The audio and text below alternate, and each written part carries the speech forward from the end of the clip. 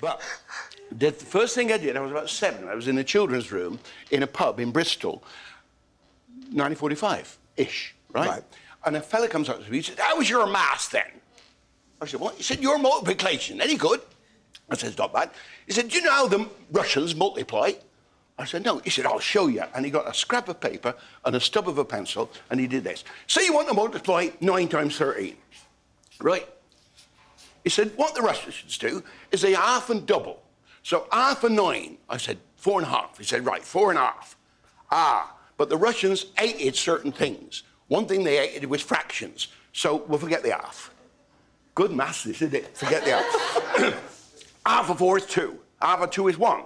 Right, now you go to the other side and you double that one. So two two 13s are 26. I've done it before, so I'll be very quick. Two of those is 52. 104. I wish I could write. Two of those is 104.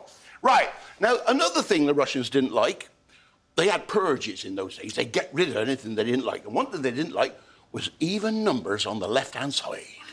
They couldn't avoid them. well, that's odd, but that's even. How goes the line? That's even. And that's odd. So they add up what they got left. And 104 and 13 is 117, and 9 times 13 is 117, and it works every time. On 9.13 or on all... Isn't that beautiful? On 8 for.